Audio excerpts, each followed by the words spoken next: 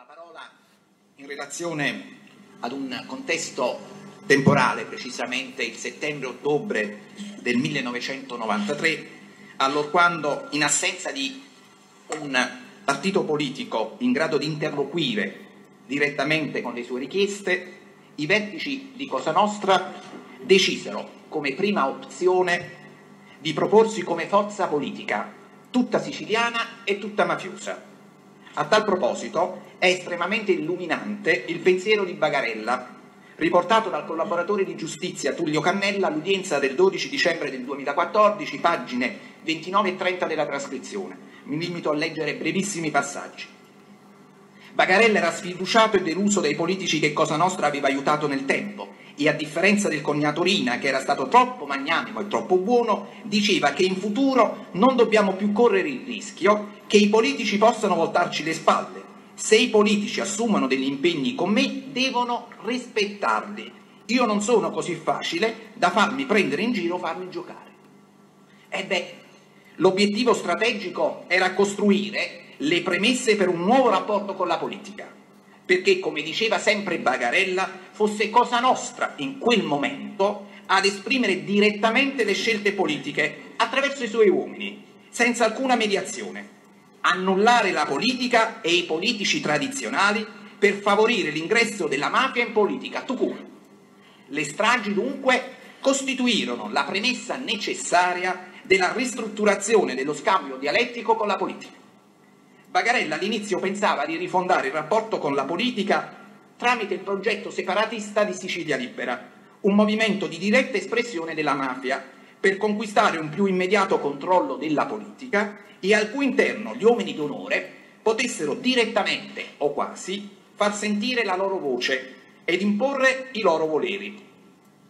L'esperienza politica del movimento Sicilia Libera, nata secondo le indicazioni di Leonardo Messina dopo le riunioni AN dei primi anni 90 nell'ambito dell'obiettivo ambizioso della nascita e sviluppo delle leghe territoriali ispirate al progetto federalista, è stato esaurientemente illustrata l'esperienza da Tullio Cannella, protagonista diretto di tale vicenda perché incaricato personalmente da Leoluca Bagarella. Tullio Cannella è nato e cresciuto nel quartiere palermitano di Brancaccio, dove aveva svolto l'attività di piccolo imprenditore,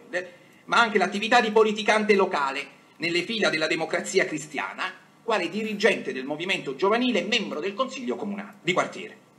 Proprio questa sua spiccata e naturale predilezione per la politica, fin dagli anni giovanili, costituisce il tratto saliente, il metro di valutazione della sua collaborazione, proprio perché è esperto in questo campo, in questo settore. Cannella ha descritto i suoi rapporti sin dagli anni Ottanta con i fratelli Graviano, per conto dei quali aveva realizzato il complesso residenziale Euromare a Campofelice di Roccella, ha ricostruito la conoscenza nel maggio del 1993 con Leoluca Bagarella e poco dopo con Tony Calvaruso, che nello stesso tempo aveva curato anch'egli la latitanza del Bagarella, con il quale Calvaruso è stato arrestato il 24 giugno del 1995. Quando a metà giugno del 1993 Cannella aveva ospitato Bagarella nel villaggio Euromare, i rapporti si erano molto intensificati divenendo molto confidenziali al punto che aveva rivelato i suoi trascorsi politici nella circoscrizione della DC a Brancaccio sin dalla metà degli anni 70, nonché le conoscenze che aveva maturato in tale campo. Bagarella le aveva più volte manifestato nelle quotidiane conversazioni di tale argomento la sua sfiducia nei confronti di molti esponenti politici, prevalentemente della DC, perché non avevano mantenuto i loro impegni, nonostante l'appoggio elettorale e la protezione di Cosa Nostra ragione per cui lo aveva incaricato, avvalendosi della sua esperienza politica, di fondare un nuovo movimento di carattere politico, cui il Bagarella avrebbe assicurato sostegno economico e soprattutto i suoi contatti e le sue relazioni. Era così maturata l'idea di Sicilia Libera che venne costituita formalmente nei primi giorni di ottobre del 1993, tra i cui fondatori vi era l'Abu Edoardo, soggetto massone, molto ben inserito negli ambienti palermitani di imprenditori e vecchi nobili. Sicilia Libera aveva la finalità di rappresentare direttamente gli interessi di Cosa Nostra e presentava una, voca- una vocazione prettamente separatista. Bagarella le aveva fatto capire che non dispiaceva affatto l'ipotesi di una separazione della nazione quale proposta dalla Lega Nord, in quanto in tal modo Cosa Nostra avrebbe potuto gestire autonomamente il Sud Italia. Nell'ambito di tale progetto aveva intrattenuto rapporti e contatti con tutta una serie di soggetti che abbiamo già visto nei precedenti interventi, erano stati coinvolti nei movimenti leghisti del Sud, come Antonino Strano, Giuseppe Di Pera, Ferdinando Platania, Gaspare Di Paola, tutti che poi vedremo aderiranno a Forza Italia, riversando il bacino elettorale di tali movimenti nella nuova forza politica. Nell'ottobre 93, quando costituì ufficialmente Sicilia Libera a Palermo, Bagarella era già perfettamente a conoscenza che era in cantiere la discesa in campo di Silvio Berlusconi, racconta sempre il collaboratore, a capo di un nuovo movimento politico che avrebbe loro assicurato, in virtù di impegni preesistenti, di risolvere le questioni che più interessavano a Cosa Nostra la legge sui pentiti, il carcere duro, la normativa antimafia. Ha precisato di aver avuto contatti per tale iniziativa politica con Giovanni Busca, che gli aveva presentato Salvatore Cintola di Partinico, a Trapani aveva incontrato sempre su indicazione di Bagarella Vincenzo Virga, che gli aveva presentato il senatore Giuseppe Perricone. Bagarella, tramite i fratelli Graviano, gli aveva richiesto di incontrare anche il senatore Inzerillo, cosa che aveva fatto in diverse circostanze, per poi prenderne le distanze, sempre su decisione di Bagarella, profondamente deluso dall'atteggiamento dell'esponente politico che avrebbe dovuto parlare, secondo Bagarella, un'altra lingua. I primi del mese di dicembre del 93 Bagarella iniziò a mostrare delle perplessità sull'efficacia dell'operazione iniziata con Sicilia Libera, facendogli chiaramente intendere che non voleva più finanziare il movimento, tanto che lo invitò a tesserare gli iscritti per recuperare dei fondi. Bagarella gli disse che loro avevano deciso di appoggiare la neoformazione politica di Forza Italia in quanto vi erano, parole testuali, degli agganci. A seguito di tale comunicazione del Bagarella aveva fondato unitamente alla BUA un club di Forza Italia all'interno di Sicilia Libera, in quanto egli e la BUA volevano vedere di inserire dei loro candidati all'interno del polo delle libertà, ma ciò non è stato, non fu possibile. Ebbene, l'attendibilità del racconto di Cannella in merito all'esperienza seppur breve di Sicilia Libera è stata confermata dalle precise e convergenti dichiarazioni di diversi collaboratori di giustizia che non sto a ripetere nell'intervento del dottor Tartaglia sono stati già analiticamente indicati, ovvero i palermitani Rosario Naimo e Giovanni Brusca, ma anche i trapanesi Giuseppe Ferro e Vincenzo Senacori, nonché dagli accertamenti esposti dai testi fonti all'udienza del 25 settembre 2015 e Serafini all'udienza del 22 ottobre del 2015, richiamando l'annotazione della DIA del 31 gennaio del 1998 acquisita al fascicolo del dibattimento il 22 ottobre 2015 con il consenso delle parti. Ebbene, questi elementi, queste fonti dichiarative ma anche documentali, gli accertamenti di fonti e Serafini, confermano integralmente giorno per giorno quella che è stata l'esperienza di Sicilia Libera e le indicazioni di, Cal- di Cannella. Però permettetemi, le dichiarazioni di Cannella hanno rilevanza per altri profili più specifici, più diretti alla nostra imputazione. Prima circostanza, il coinvolgimento e quindi l'iniziativa e poi l'abbandono del progetto politico da parte di un esponente di primo piano di Cosa Nostra come Leoluca Bagarella. Poi vedremo perché questi quattro punti sono rilevanti. Secondo, in occasione della presentazione ufficiale alla fine del 93 del movimento, i fratelli Graviano avevano messo a disposizione tramite Gianni Enna, costruttore di loro fiducia, l'Hotel San Paolo Palace di via Messina Marine. Ha ricordato che quando si recò da Filippo Graviano per saldare la fattura della convention di Sicilia Libera al predetto hotel, Filippo Graviano lo invitò a desistere da quell'impegno. Gli disse che era inutile quell'iniziativa politica perché gli agganci potenti con esponenti politici, li avevano loro i Graviano. Erano loro che si occupavano di politica per risolvere i problemi di Cosa Nostra, quali la legislazione dei collaboratori di giustizia. Attenzione, pensate, ci anticipiamo un tema che sarà approfondito successivamente. Si tratta, questa affermazione di Cannella, di un'affermazione che si coniuga perfettamente con quella di Spatuzza in merito alle confidenze nell'autunno del 93 nel villaggio romare alla presenza anche di Cosimo Lonigro di Giuseppe Graviano. Che cosa ebbe a dire Giuseppe Graviano in quella circostanza a quei due soggetti presenti? Visto che lui era esperto di politica, testualmente, c'è in piedi una situazione che se andrà a buon fine ne avremo tutti dei benefici a partire dai carcerati. Dunque, secondo punto, ci dimostra come i Graviano siano coinvolti in Sicilia Libera, tanto da aver messo a disposizione il loro hotel per la convention, ma soprattutto perché sono loro che hanno gli agganci politici. Terzo punto. Cannella ha riferito che circa 15 giorni prima della scadenza del termine ultimo per la presentazione delle liste elettorali inerenti alle consultazioni del marzo del 1994, si rivolse al Bagarella per avere la possibilità di inserire un candidato di Sicilia Libera nelle liste del Polo delle Libertà. Bagarella gli disse che lo avrebbe messo in contatto con una persona in grado di ordinare, parole testuali del, col del collaboratore, a Miccichè, Gianfranco Miccichè, che si occupava della formazione delle liste in Sicilia, l'inserimento di un determinato soggetto nella lista dei candidati del Polo della Libertà per le elezioni del marzo del 1994. Egli aveva pensato, qua il collaboratore dice, avevo fatto un peccato,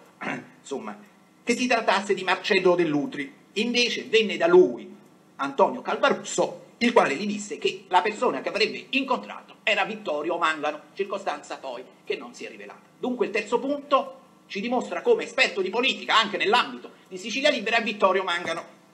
Quarto punto. E qui poi, per l'odierno processo, la principale rilevanza del contributo di Cannella. Contributo che, vedremo, verrà integralmente confermato da Calvaruso, poi vedremo deposizione riportata nella sentenza a carico del senatore Dell'Utri. Ebbene,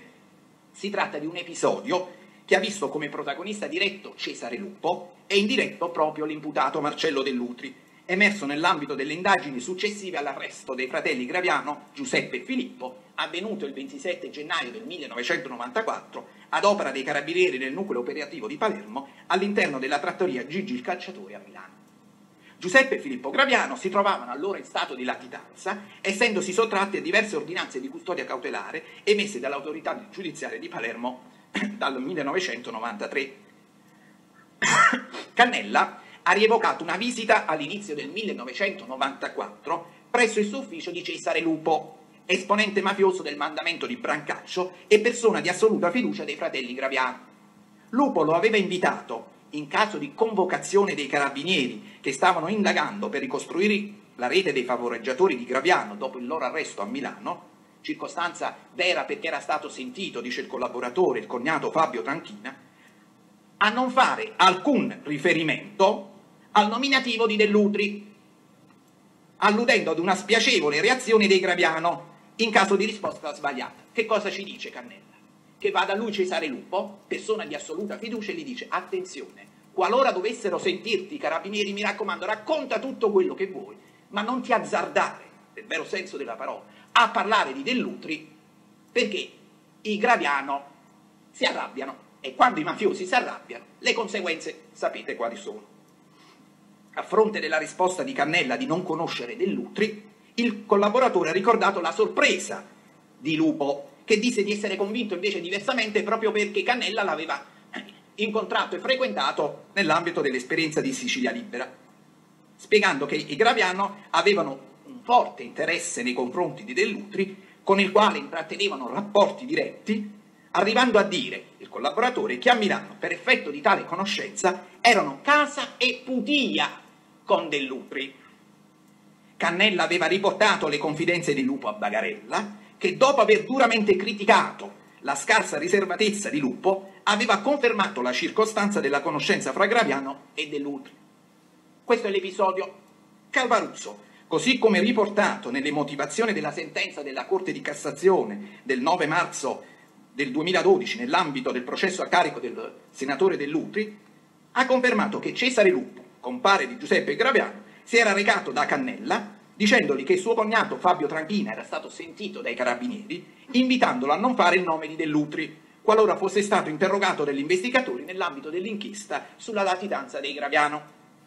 Il mendacio era spiegabile nell'ottica di tenere separato Dell'Utri da qualsiasi ambiente mafioso all'indomani, all'indomani dell'arresto dei fratelli Graviano, arresto seguito dall'iniziativa Palermo di Lupo, volta allo stesso scopo, ad ottenere ciò, ad ottenere cioè che non si parlasse dei rapporti di Dell'Utri con i Graviani. Ma ancora più rilevanti sono alcuni elementi individualizzanti che riguardano specificamente Marcello Dell'Utri e che emergono oggettivamente nella vicenda di Sicilia Libera. Si ricavano in particolare da punti sequestrati allo stesso Dell'Utri. Segnatamente, nei quaderni d'appunti Labor, Labor Omnia Vincit, alla data del 20 gennaio del 1994 è riportata l'annotazione Platania, Lega Sicilia Libera, visto spot immagini delle città. Si fermano a Roma, con due numeri di telefono annotati 095 37 73 72 intestata a Ganci Carmela di Catania e l'utenza 38 36 26 intestata a Francaviglia Maria Cristina, guarda caso, moglie di Platania Ferdinando, a dimostrazione che in quel periodo Dell'Utri aveva avuto contatti e rapporti, limitiamoci a dire per Sicilia Libera, benissimo, nell'ambito di Sicilia Libera con Platania, ricorderete dalle indicazioni del dottor Tartaglia chi era Platania e come era considerato Platania nell'ambito di Cosa Nostra. E allora, dalle dichiarazioni dei collaboratori e delle altre prove raccolte al riscontro,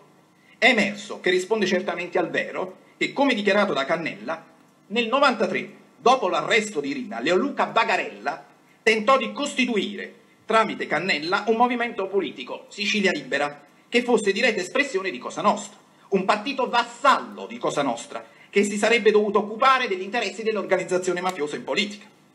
Ancora, in questa esperienza risulta provato il coinvolgimento dei fratelli Giuseppe e Filippo Graviano, di Vittorio Mangano. Infine, secondo le convergenti dichiarazioni di Cannella e Calvaruso, era emersa anche la figura di Marcello De Lutri, proprio con riferimento all'episodio di Lupo. Insomma, nell'autunno del 1993 si è delineata la rete di relazioni Bagarella, Mangano, Graviano, Dell'Utri che sarà l'asse portante della condotta intimidatoria del 1994. Quello che noi contestiamo non nasce improvvisamente, e ora lo spiegheremo, ma è frutto di una serie di rapporti, incontri che arriveranno a quella, a quella sede. Cioè già Sicilia Libera ha in sé tutti i protagonisti di quella che è la condotta del 338 contestata agli odierni imputati. Bagarella, alla fine del 93 si è trovato dinanzi a due strade politiche alternative. Patrocinare una nuova iniziativa politica più ampia, non semplicemente la riesumazione del vecchio separatismo siciliano, che nel tentativo di disarticolare il vecchio quadro politico istituzionale da realizzare ancora mediante la prosecuzione della stagione stragista serviva a destabilizzare e che prevedeva la trasformazione dello Stato unitario in una nuova forma di Stato che contemplava la rottura dell'unità nazionale, la divisione dell'Italia in più stati o macroregioni ed eventualmente la creazione di uno Stato autonomo nel sud, con prerogative di sovranità, che avrebbe consentito di monopolizzare la gestione politica degli interessi economici leciti ed illeciti, trasformando questa parte del paese in una sorta di zona franca, governata da soggetti espressioni di Cosa Nostra. Bagarella non voleva ripetere l'errore del cognato, cioè dare troppa fiducia ai politici, per cui valutava di conservarsi la carta di un movimento politico in cui manovrare in anticipo liste e candidature, intervenire direttamente sui processi decisionali nazionali, in cui Cosa Nostra fosse presente in prima persona, con l'obiettivo di essere interlocutore ufficiale di altri partiti, di altri movimenti politici, che erano prossimi ad entrare nel lagone politico. Ed ecco la ragione di Sicilia Libera è molto istruttivo, oltre che in linea con lo scopo di tale iniziativa, che vedeva tra i suoi promotori, come si ricava dall'atto costitutivo, giornalisti, impiegati, funzionari di banca, presidi di scuola, scorrere l'oggetto sociale indicato nello statuto, acquisito al dibattimento. Ebbene, vedrete inserirsi in competizioni elettorali locali, provinciali, regionali, nazionali, avere i propri rappresentanti negli organismi pubblici, al comune, alla provincia, alla regione, alla Camera dei Deputati e al Senato, promuovere iniziative riguardanti la problematica della giustizia e delle esigenze delle carceri italiane per una maggiore umanizzazione. Indubbiamente possono cogliersi, pur nella genericità e onnicomprensibilità dei fini enunciati, gli aspetti salienti che stavano a cuore a Cosa Nostra rappresentati essenzialmente dalla promozione e intervento nelle competizioni elettorali di qualsiasi livello, dalle iniziative riguardanti la giustizia, e non è difficile immaginare quali, e dalle situazioni carcerarie da incanalare verso una maggiore umanizzazione, obiettivi mimetizzati ad arte che non riescono a celare la loro finalità simulatoria e di copertura. L'ufficialità del movimento era un mezzo per contentare in via del tutto tranquilla diversi uomini politici già vicini all'organizzazione e quindi intessere rapporti anche telefonici con esponenti politici o che lo diventeranno a seguito delle elezioni politiche del 94. Circostanza, guarda caso, che riguarda l'imputato dell'Utri, come si ricava dall'appunto del 20 gennaio del 94 con il nominativo e le utenze telefoniche di Platania, raggiungendo dunque così l'obiettivo prefissato. Ma il progetto fu accantonato, non abbandonato, spiega Cannella, riportando il pensiero di Bagarella, perché presentava una vocazione troppo regionalistica e localistica, laddove Cosa Nostra, in pieno delirio di onnipotenza, dopo le stragi del 92 e del 93, pretendeva che le iniziative a suo favore avessero rilievo nazionale. Di più, vi era un'esigenza di natura pratica, in quanto il progetto indipendentista richiedeva ancora un lungo periodo di attuazione mentre l'attualità di quel momento storico imponeva il sostegno ad una compagine politica già organizzata a livello nazionale e pronta a competere alle elezioni politiche del marzo del 94. Per soddisfare tale esigenza, Bagarella, a conoscenza fin dall'autunno del 93 della discesa in campo di Berlusconi, opera una scelta di maggiore realismo e opportunismo, decide di non sostenere più Sicilia Libera alle elezioni del 94 e opta, confortato dalle assicurazioni dei fratelli Graviano, sulla figura di Marcello Dell'Utri per il sostegno elettorale di Forza Italia, ove di fatto Sicilia Libera confluisce. Basti considerare che i comitati di Sicilia Libera si fonderanno nei club di Forza Italia anche per effetto della convergenza di obiettivi e di finalità. Una volta che Marcello Dell'Utri si è proposto, è questo dunque il canale che i vertici di Cosa Nostra hanno deciso di attivare in questo torno di tempo, per riprendere il dialogo a distanza perché l'obiettivo finale non era stato ancora raggiunto. Sì, perché i canali di dialogo degli anni 92 e 93, non autorizzato dalle leggi dello Stato, e lo ripeto, non autorizzato dalle leggi dello Stato, e finalizzato alla concessione di benefici per l'organizzazione mafiosa in cambio dell'interruzione della, della strategia stragista, aveva ingenerato in Bagarella, Brusca, Graviano, subito dopo l'arresto di Rina la convinzione che gli attentati eclatanti pagavano e quindi le minacce dovevano essere rinnovate in quanto funzionali al ricatto. Ebbene, in questo contesto politico, caratterizzato dalla presenza di un governo tecnico molto debole, si è verificato, come già abbiamo analizzato, nel novembre del 93 il cedimento dello Stato, consistito nell'inopinata mancata proroga di oltre 300 decreti di applicazione del regime detentivo di cui all'articolo 41 bis tanto più grave e deprecabile perché veniva incontro ai desiderati di Cosa Nostra e perché interveniva in una fase molto critica per l'ordine pubblico e per la nostra democrazia. Tale cedimento, se costituì un segnale di distensione, peraltro letteralmente auspicato nella nota che il capo del DAP Capriotti indirizzava al ministro della giustizia Conso in data 26 giugno 93, certamente non bastò, non poteva bastare a Cosa Nostra che mirando ad ottenere garanzie più ampie a tutto campo, aveva obiettivi più ambiziosi e duraturi, come indicati nel papello, non limitati al solo ottenimento di benefici nel trattamento penitenziario, ma estesi anche al versante della legislazione penale antimafia, segnatamente in merito alla modifica della normativa sui collaboratori di giustizia e sui sequestri di persone. I capi di Cosa Nostra avevano deciso di insistere nella realizzazione del folle piano di attentati e occorreva individuare il nuovo canale cui trasmettere il messaggio quartativo che per funzionare doveva essere necessariamente e chiaramente decifrato dai destinatari. Il canale costituito da Dell'Utri è stato scelto per la stretta vicinanza a Berlusconi, nel momento in cui a Cosa Nostra era nota la discesa in campo dell'imprenditore milanese, anche perché Dell'Utri era un soggetto influente che in passato aveva dato ampia prova di sé, dimostrandosi disponibile verso Cosa Nostra. Infatti la figura di Dell'Utri, come nuovo autorevole interlocutore nel dialogo a distanza di Cosa Nostra, non esce fuori improvvisamente dal cilindro, ma si afferma e si propone per effetto di pregressi e collauti rapporti, risalenti fin dagli anni 70, con esponenti apicali di Cosa Nostra, come consacrato nelle sentenze irrevocabili di condanna a suo carico emesse dalla Corte di Cassazione in data 9 marzo 2012 e 9 maggio 2014 per il delitto di concorso esterno in associazione mafiosa, mentre, e qua lo sottolineiamo, per il periodo successivo al 1992 l'imputato è stato assolto dalla suddetta contestazione nella forma del patto politico mafioso. Ebbene, che cosa c'è scritto in quelle motivazioni? Qualcuno le ha mai lette realmente quelle motivazioni? Eh? Perché per un esponente istituzionale sono terrificanti.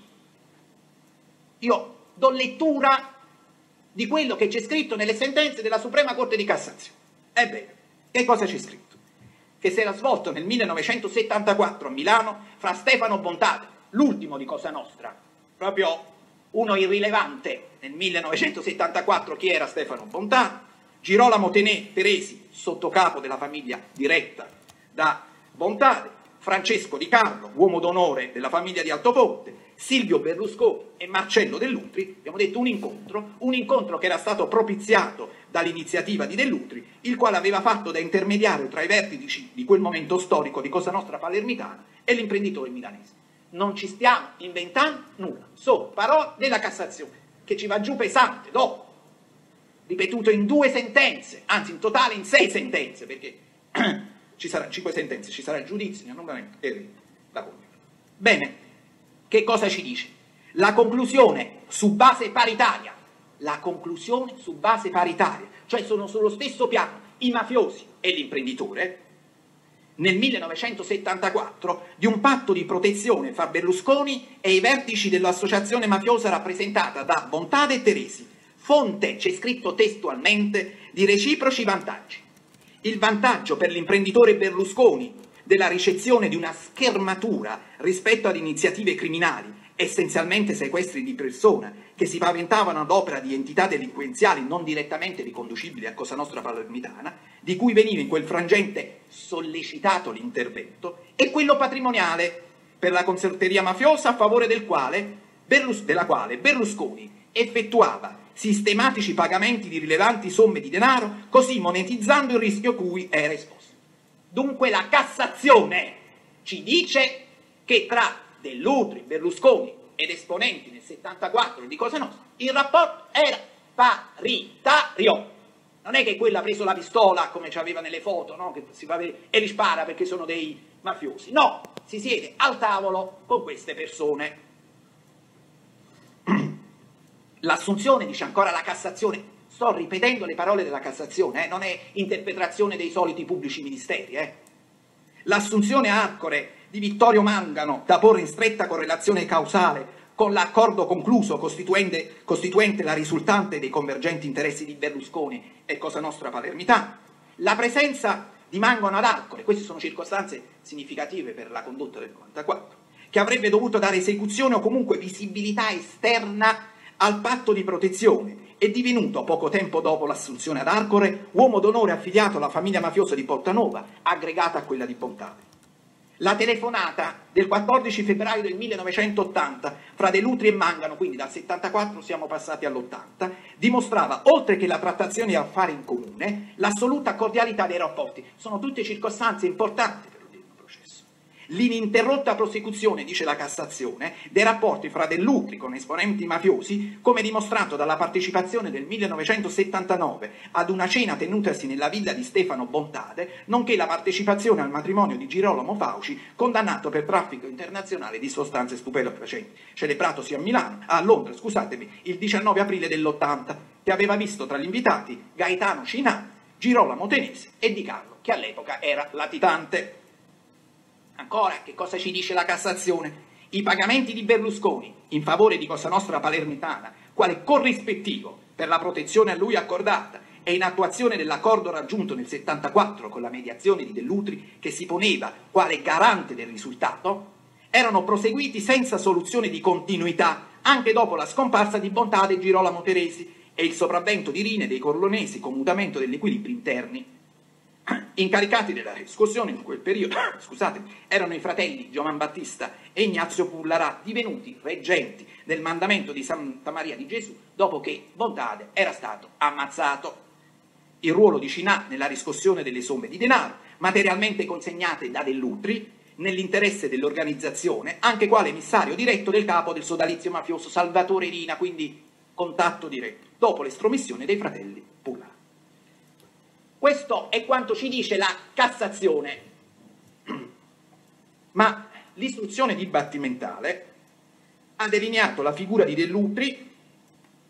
anche per un periodo successivo a quello indicato, abbiamo visto il 74, l'80, in merito alla vicenda degli episodi delittuosi ai danni di vari esercizi commerciali della Standa, azienda del gruppo Fininvest, di cui Dell'Utri aveva assunto la carica di consigliere di amministrazione della società, attentati verificatisi all'inizio degli anni 90 nella città di Catania e provincia. Dagli accertamenti effettuati, se non mi sbaglio, dal test del Bonferraro, il 18 gennaio del 90, oppure ricavati dalle sentenze, ora non, lo ricordo con precisione, 18 gennaio del 90, incendio magazzini stampa di Catania in via Etnea, angolo via San Michele. 21 gennaio 90, incendio alla filiale stampa, sita in via Bertuccio, angolo piazza Cavour di Catania, non sviluppatosi grazie all'intervento immediato dei vigili del fuoco. 12 febbraio del 90, incendio alla filiale Standa, sita in via Bertuccio, angolo di via eh, Catania, scusate, questa è una ripetizione. 13 febbraio del 90, incendio della Copat 5 di Paternò, provincia di Catania, affiliato Standa. 16 febbraio 90, tentativo di incendio della filiale Standa di Catania di Piazza Risorgimento, subito domato con modesti danni. Abbiamo già visto nell'intervento del 15 dicembre del 2017 che sono stati collaboratori di giustizia catanesi Avola, Malvagni e Di Giacomo, e non sto a ripetere le stesse dichiarazioni, ma le si tenta inserire, a precisare tre circostanze significative in tale vicenda che occorre sottolineare. La prima, che a seguito dei suddetti attentati di iniziativa congiunta dei palermitani e dei catanesi, era sceso in Sicilia dell'Utri, che aveva raggiunto un accordo che aveva posto fine alle azioni delittuose. Secondo, L'obiettivo strategico degli attentati non era affatto limitato alla richiesta estorsiva, ma esteso ad instaurare rapporti tramite Lellutri con il gruppo Berlusconi, proprietario della Standa. Infatti, è stato accertato che, secondo il progetto e le intenzioni originarie, l'obiettivo perseguito è meramente estortivo, però, ad un certo punto, l'obiettivo, specie dopo un proficuo scambio di idee fra i capi mafia palermitani e catanesi, che Rina ci confermerà nell'intercettazione del 22 agosto 2013, si aggiorna l'obiettivo e si amplia perché alla finalità meramente estorsiva si aggiunge un obiettivo strategico di più lungo termine e di più ampio respiro, i rapporti, i contatti, le relazioni. Terzo, la questione della standa ha costituito uno dei motivi di frizione fra Benedetto Santa Paola che pretendeva di conseguire un risultato economico decisamente più vantaggioso, e Salvatore Rina che invece non, veniva, non voleva che Dell'Utri fosse toccato perché proprio in funzione del consolidarsi di quel rapporto che Rina intendeva sfruttare.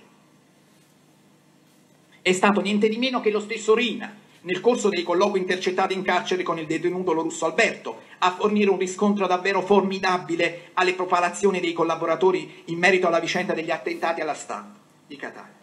Infatti,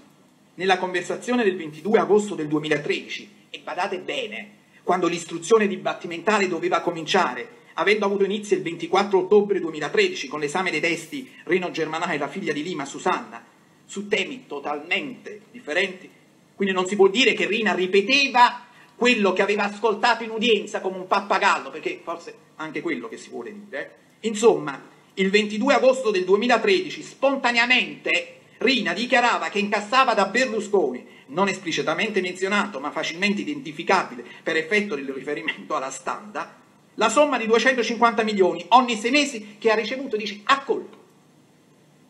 Ancora, quando a lui si erano rivolti i catanesi in merito alla standa di Catania, ha suggerito loro di dare fuoco agli esercizi commerciali, così da indurlo a pagare come faceva con i palermitani.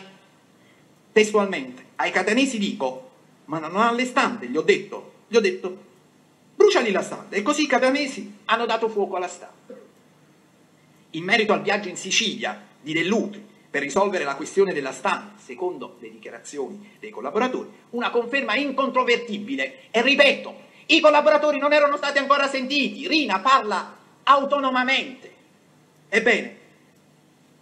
in considerazione dell'assoluta rilevanza della fonte, perché è Rina che parla, che cosa ci dice il 22 agosto del 2013? Allora quando Rina, proseguendo il discorso sull'incendio alla stampa per suo ordine, riferiva che quello, il proprietario della standa, ovvero Berlusconi, ha mandato a lui, è venuto il palermitano, è sceso il palermitano, che ha parlato con uno e si è messo d'accordo. Dice, vi mando i soldi con un altro palermitano. ha preso un altro palermitano, c'era quello a Milano e gli ha fatto avere i soldi. Questo palermitano era amico del senatore Boom. Che significa?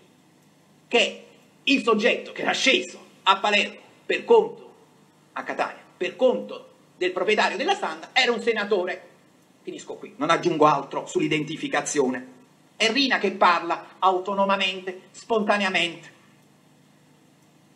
Ebbene, in questo processo, come avete avuto no, modo di verificarlo, noi non abbiamo considerato i collaboratori attendibili a prioristicamente, ovvero per sentenze che già hanno riconosciuto la, l'attenuante della collaborazione. Abbiamo sempre cercato dei riscontri e alla luce di questi riscontri valutare la loro attendibilità. Vediamo se è vero, come dicono i collaboratori catanesi, come dice Rina, se il senatore è sceso mai in quei giorni precisi in Sicilia, a Catania. Il 26 maggio del 90 il senatore Dell'Utri, secondo gli accertamenti, io tutto indico, del test Bonferraro della DIA all'udienza del 13 gennaio 2017, è giunto a Catania, il 27 è ripartito per Milano, circostanza che si è ripetuta il 23 e il 24 giugno del 90. Il 15 giugno il 16 giugno 91 è ritornato a Catania ed è riportato, è rientrato poi il 16 giugno a Milano, il 16 maggio del 92 giunge a Catania, il 17 maggio 92 riparte per Milano, ma anche il 24 maggio, il 7 giugno del 92 il 23 dicembre del 92, nella stessa giornata, è rientrato a Milano. Dunque, quei pazzi scriteriati dei collaboratori di giustizia e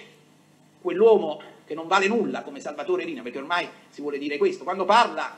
nelle intercettazioni è un mezzo rincoglionito. Quando invece bisogna riempirsi la bocca sulla lotta alla mafia, è Rina, eh, ma era il capo, noi l'abbiamo messo al 41 bis, abbiamo fatto la lotta alla mafia. Eh no,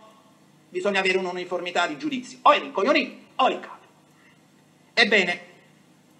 dunque, Dell'Utri si è recato a Catania almeno due volte nel 1990 e proprio nei mesi di maggio e giugno, cioè in epoca successiva agli attentati alla standa nel Catanese, per poi ritornarvi ancora nel giugno 91 e parecchie volte nel 92. Guarda caso, quando i collaboratori catanesi dichiarano essersi chiusa la vicenda i collaboratori sapevano degli accertamenti sui viaggi di Dell'Utri. Ma, ma, ma perché abbiamo tanto sottolineato questa vicenda della standa? È perché, signor Presidente, signori giudici, la vicenda della standa costituisce la chiave di lettura per gli avvenimenti futuri, perché deve essere inquadrata con la finalità di ricercare amicizie che poi torneranno estremamente utili a Cosa Nostra per gli anni 92-94, in una fase delicata e di transizione, con importanti mutamenti politici ed istituzionali. Un obiettivo inserito nel più ampio contesto dell'ambizioso progetto di Cosa Nostra di rinnovo delle proprie grandi alleanze strategiche e politiche, obiettivo che Cosa Nostra intende raggiungere mediante i rapporti di forza e più spesso mediante il linguaggio della violenza, vera o sublimata. Ascoltate. È in questo grado Lungo questo stesso percorso che si inserisce il messaggio forte e fragoroso inviato a Milano con gli attentati standa di Catania. Minaccia e violenza per cercare il contatto. Ci si aspetta risposte, ci si aspettano delle reazioni, ci si aspetta che qualcuno si faccia sotto per ricontrattare i termini degli accordi già stipulati, per assumere maggiori impegni nei riguardi dell'organizzazione mafiosa, per essere garanti del futuro di Cosa Nostra. È questo che emerge dalle dichiarazioni di alcuni collaboratori l'istruzione dibattimentale, ha provato che tale composizione della crisi a Catania si è determinata grazie all'intervento dell'imputato Dell'Utri, che dopo una serie di incontri con i vertici della famiglia di Catania, ancora una volta confermati dalle parole di Rina del 22 agosto del 2013, ha veicolato, ha veicolato a Berlusconi il messaggio connesso agli attentati alla standa e in cambio, improvvisamente, gli attentati sono cessati senza apparente motivo.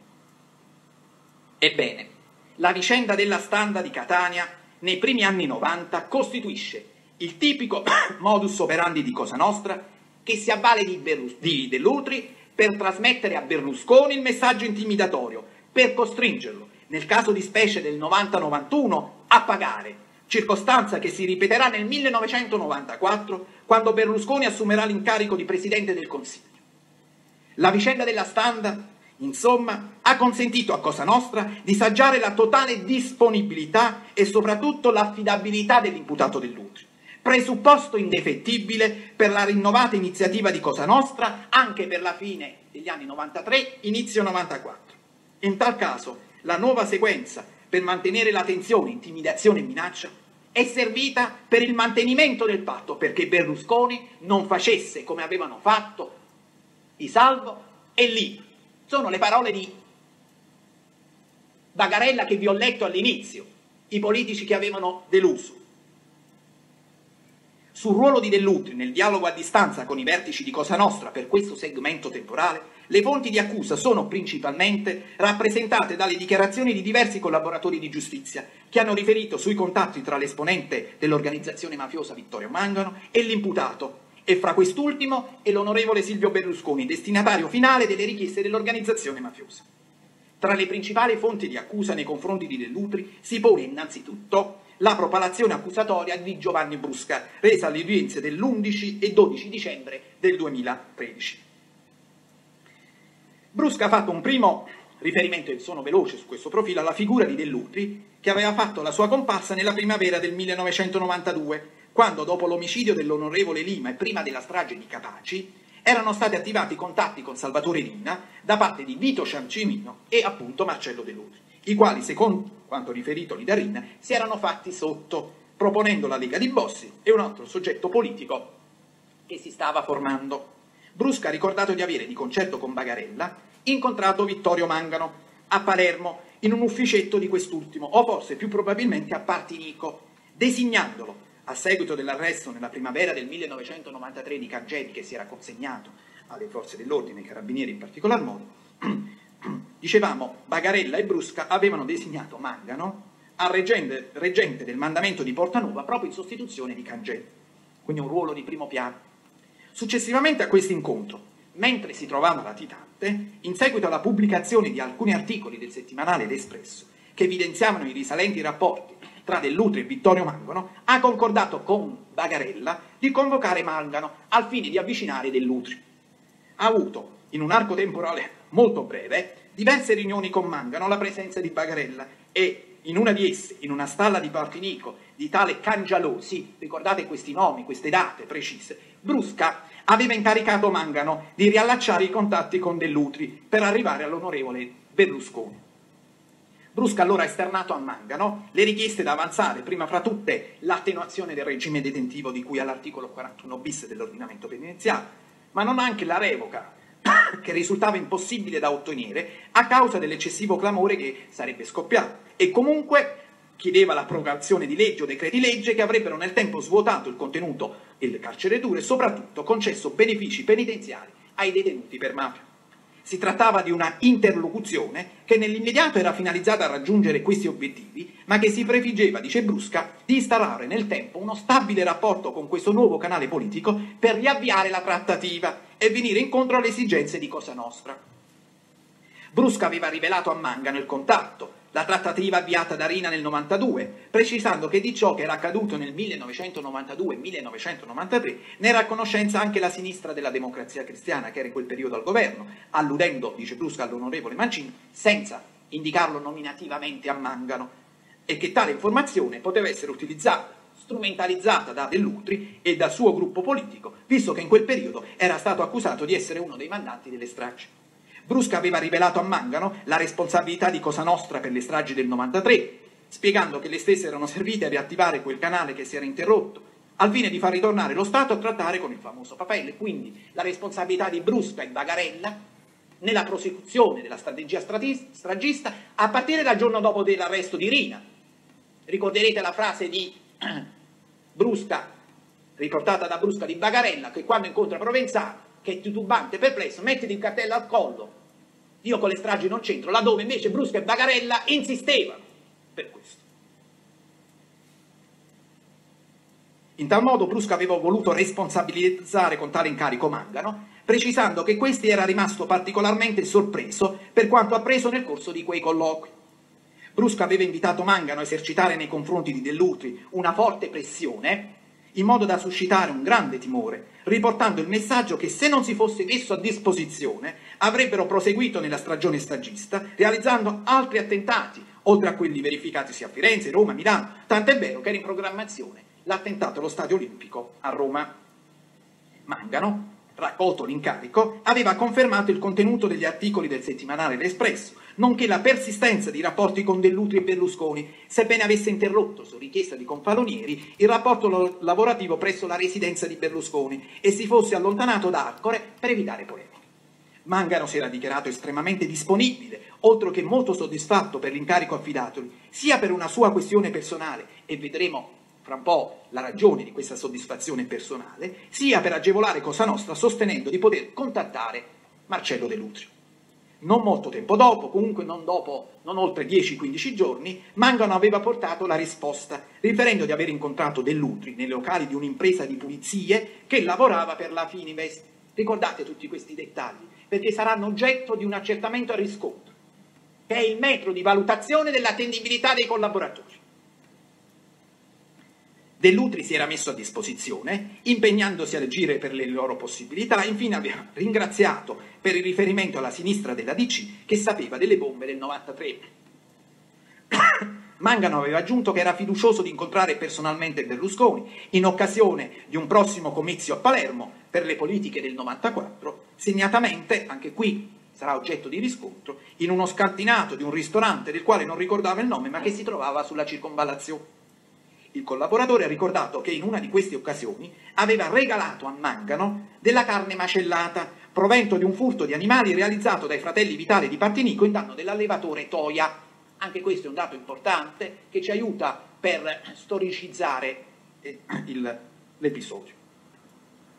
Brusca ha precisato che gli incontri molto frequenti con Mangano in quel frangente temporale erano proseguiti sempre a Partinico probabilmente nella distilleria di Giovanni Bonomo poco distante dalla stalla di Cangelosi, nonché in un'abitazione a Villa Grazia di Carini nella disponibilità di Mangano.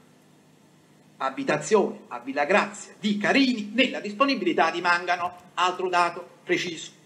Ancora Brusca ha ricordato che in quel periodo erano soliti accompagnarlo alle suddette riunioni Domenico Raccuglia, Ignazio Treni e soprattutto Giuseppe Monticciolo, che fungeva da suo braccio destro, consentendogli di gestire il territorio di San Giuseppe Ato e organizzando gli incontri con gli altri esponenti mafiosi, tra cui Leo Luca Bagarella, quale messaggero per disposizione nei confronti dei figli di Rina.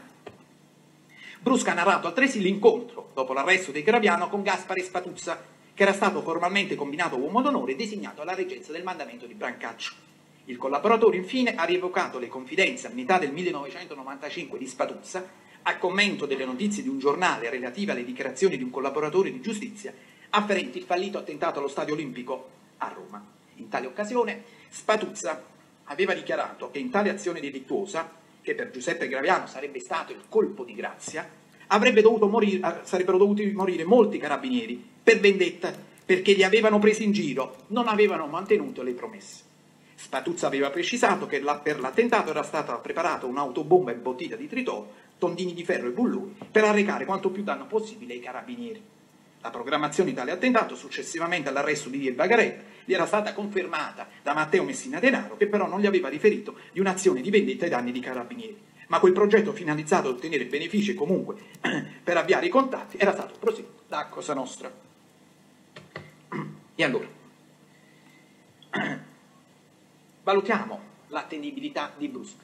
In maniera sintetica vi ho indicato le dichiarazioni, sottolineando alcune circostanze che servono per datare questi incontri, ma soprattutto per vedere se ci sono dei riscontri, se Brusca se li ha inventati, se ha raccontato Fandoni. E perché, perdonatemi, se uno si ricorda che ha dato della carne a un soggetto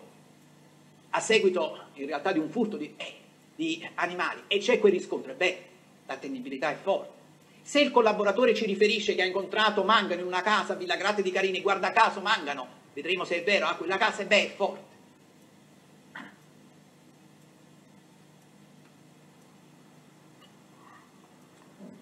E allora, non dimentichiamo che Brusca, Bruscano, è quel esponente di primo piano di Cosa Nostra che ha condiviso e contribuito a realizzare la strategia stragista dell'organizzazione mafiosa. E poi l'ha confessata, l'ha raccontata, il primo che ci ha parlato del papelino. E allora, Andiamo ai riscontri così come sono stati rappresentati dai testi Galetta e Bonferrar della DIA. Brusca era latitante nel periodo di quegli incontri, lo sappiamo,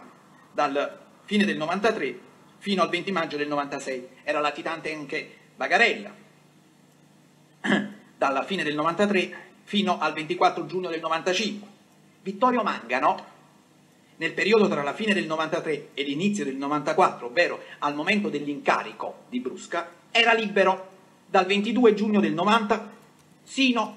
lo sarà, al 4 aprile 95, quando viene tratto in arresto e detenuto a Termini Meresi. Quindi non era detto, visto i dieci anni di carcere che aveva fatto Mangano,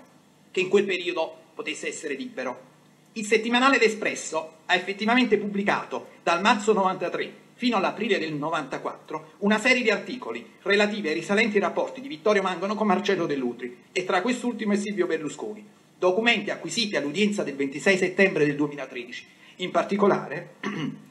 meritano di essere segnalati gli articoli dell'11 marzo del 94 e dell'8 aprile del 94, poi vedremo perché.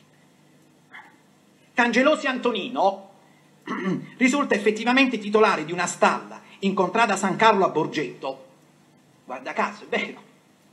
Lo stesso è stato ucciso a colpi di arma da fuoco il 18 aprile del 94. Il processo l'ho fatto io, personalmente è stato ucciso in quella stalla. Giovanni Bonomo risulta effettivamente titolare di un'azienda di imbottigliamento di vino incontrata in Gastone a Partinico. Giuseppe Lobianco, esponente della famiglia mafiosa di Partinico e per tale motivo condannato con sentenza irrevocabile, risultava effettivamente titolare di un'abitazione a Partinico incontrata a San Carlo, dunque a brevissima distanza dalla stalla di Cangialosi, ci hanno detto i testi della Dia. Toia Giuseppe, ha subito il furto di tre vitelli l'8 ottobre del 93 in una stalla di Partinico, incontrata a Miliò. Voi vi rendete conto? Brusca, questo dettaglio del furto, a mio ricordo, l'ha, l'ha indicato, sforzandosi nella memoria, per la prima volta in dibattimento. O Brusca aveva il mattinale dei furti di Partinico di animali dal 1993 o ha ricordato una data precisa e guardate la coincidenza capita esattamente questo furto nel momento in cui lui ha dichiarato essere avvenuto l'incarico. Se il furto fosse avvenuto tempo dopo, brusca, era inattendibile. Era inattendibile. E invece esattamente in quel periodo. E questo accertamento è di fondamentale importanza, poi vedremo per quale motivo.